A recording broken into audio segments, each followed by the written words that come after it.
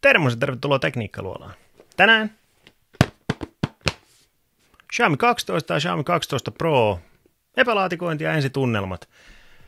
Tervetuloa mukaan videolle. Video on toteutettu kaupallisessa yhteistyössä Xiaomin kanssa.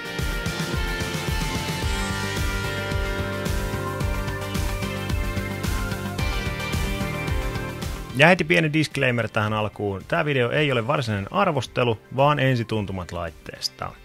Mutta mennään epälaatikoinnin pariin. Olkaa hyvät. Noin. Katsotaan ensin mitä paketeista löytyy. Ja katsotaan ensin mitä 12 mallin paketissa. Eli tämä on tosiaan toi purple, eli onko se nyt sitten violetti suomeksi sanottuna. Eli tästä ensin löytyy tämmönen paketti. Ja sieltä löytyy SIM-työkalu, hiukan paperisälää ja suojakuori. Suojakuori on aina hyvä olla mukana puhelimessa ja se on mukava, että se toimitetaan heti myyntipakkauksessa. Siinä on itse laite, mutta ei katsota sitä vielä. Sitten täältä löytyy 67 wattin pikalaturi USB-A-liitännällä ja USB-C, USB-A-kaapeli. Hyvä, pistetään näitä tänne vähän takaisin. Saadaan pöydälle vähän tilaa. Ja sitten Xiaomi 12 Pro. Tästä löytyy kanssa samanmoinen paketti ja siellä kanssa SIM-työkalu ja paperit ja suojakuori. Hyvä, hyvä. Siellä kanssa itse laite laitetaan sekin tonne vähän odotteleen parempia aikoja. Ja sitten täältä löytyy 120 watin pikalaturi. Eli tällä kyllä akku varmasti tulee täyteen suhteellisen hätäisessä aikamääreissä. USB-A-liitäntä, USB-A, USB-C-kaapeli.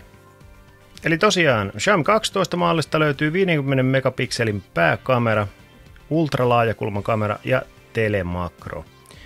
Sitten löytyy Snapdragon 8 Gen 1, eli 4 nanometrin prosessori G-yhteyksillä, 120 Hz AMOLED-näyttö, tuplakajarit, Harman Kardon sellaiset. Ja tosiaan 67 watin piuhallinen lataus ja 50 watin langaton turbolataus. 4500 mAh akku.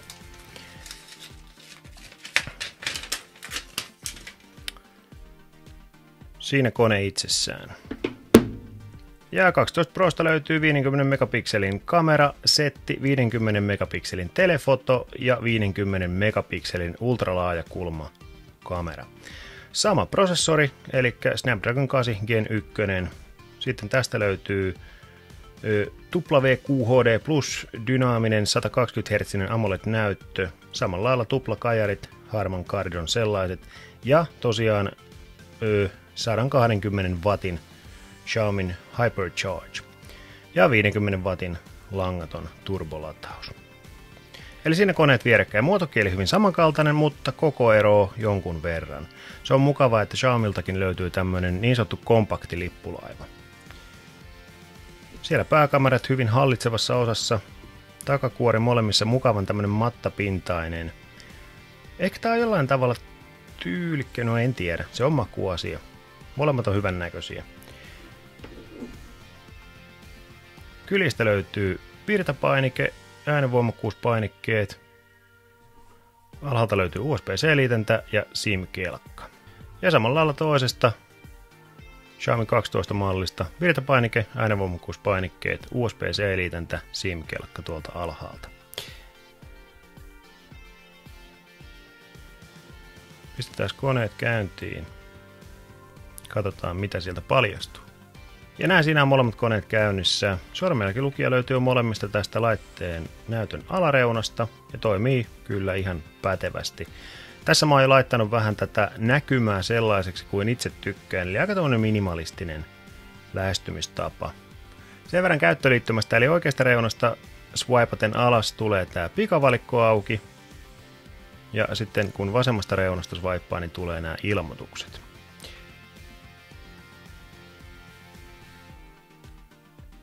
Ja sitten täältä löytyy avoimet sovellukset ja muuta tämmöistä pientä hallinnallista puolta. Muuten hyvin perus Android, aika näpsäkkä toiminnoiltaan. Se, mistä mä nykypäivänä tykkään Xiaomi laitteissa, että toi päivityslupaus on tällä hetkellä kolme isoa Android-päivitystä ja neljä vuotta tietoturvapäivityksiä. Niin se on yksi tällä hetkellä markkinoiden parhaista päivityslupauksista. Ja se on hyvä, että on menty tähän suuntaan. Hyvä. Siinä tämmöinen nopea alkukatsaus. Katsotaan vielä muutamia huomioita näistä laitteista. No, siinä saatiin epälaatikointi alta pois. Mä oon nyt näitä hetken aikaa päässyt käpistelemään ja ensimmäisen mä täräytin mun SIM-kortin tähän 12 malliin. Mua jotenkin kiehtoo tommonen pienempi koko luokka, niin kuin moni tietää. Et kompaktissa koossa lippulaiva speksit. No seuraavaksi tietysti menee testiin tämä. Ja molemmat vaikuttaa oikein päteviltä koneilta. Varsinkin tämä 12 Proon 120 watin pikalataus, se on oikeasti kyllä todella hätäinen. Ja sitten molemmista löytyvä toi 50 watin langaton lataus. Mulla on tossa toi Xiaomin 80 watin langaton pikalaturi. Sillä on päässyt vähän testaileen ja on se mukava, kun sä voit vaan laittaa sen puhelimen siihen telineeseen ja akku kyllä latautuu siinä suhteellisen haipakkaa tahtia. Ja myöskin toi Xiaomi oma Android Skinny MIUI on toiminut mun mielestä ihan näpsekästi. Ja yhä edelleen pidän tuosta päivityslupauksesta, eli kolme isoa Android-päivitystä ja neljä vuotta tietoturvapäivityksiä. Niin se on oikeasti hyvä suoritus jo nykymittapuulla. Tässä muutamia kamerasampleja molemmista laitteista, niin saatte sitten tehdä itse omat johtopäätökset siitä, että minkälaista jälkeä näillä saadaan aikaiseksi.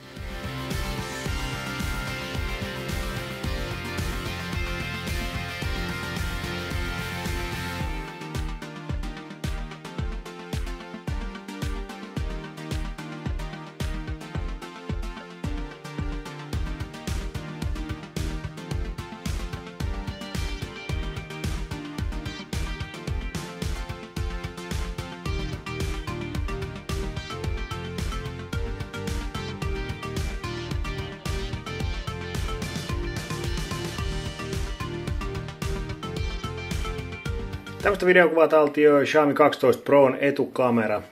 Kädenmitan päästä, meikäläisestä, käsivaralta, ihan ok valaistuksessa.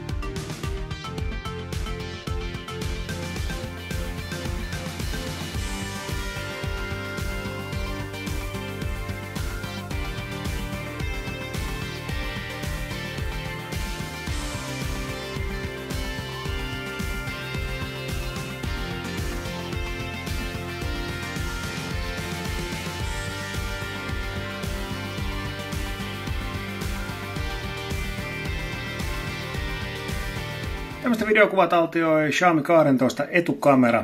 Tämmöisessä ihan ok valaistuksessa sisätiloissa. Käymme niitä päästä meikäläisen pärstä värkistä. Tältä se näyttää ja kuulostaa. No, siinä tuli kamerat taputeltua. Toivottavasti saitte jonkinnäköisen käsityksen näiden laitteiden suorituskyvystä. Ja oikeastaan siinä rupeaa olemaan taputeltuna koko video. Eli tässä ensitunnelmat Xiaomi 12 ja 12 Pro-malleista. Arvostelut tulossa tässä jonkin ajan sisään tällä kanavalla. Mut hei, tässä tämä. Jos tykkäsit, niin yläpeukkua ja sitä rataa ja ei muuta kuin nähdään ensi videon merkeissä. Karri kiittää ja kuittaa.